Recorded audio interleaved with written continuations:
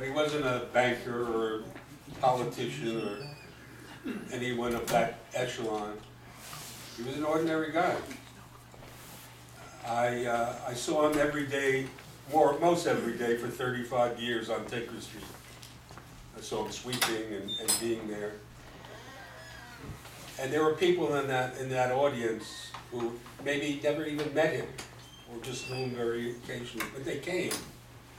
And that was the, uh, that was the thing, It- they came to honor an ordinary guy, which, uh, I found extraordinary, because, uh, but it's Woodstock, so there's, uh, that's the extra kick in there. Uh, We come, we do, ord- we do honor ordinary people. You don't have to be uh, rich and famous uh, to get honored here, so, uh,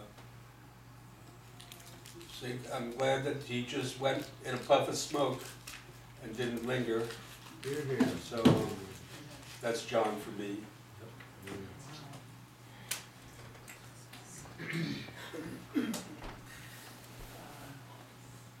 I met John, God knows how many years ago. And we always encountered one another wherever we were in town.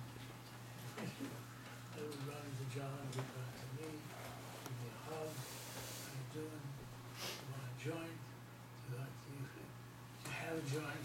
You know, what's doing in your life? Uh, John was a very special man of love.